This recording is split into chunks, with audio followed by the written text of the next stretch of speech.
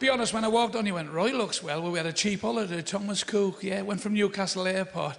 But the thing is, if you were like me and you don't like flying, it's fucking. The first thing I do on a morning is look out the window, see if it's fucking windy.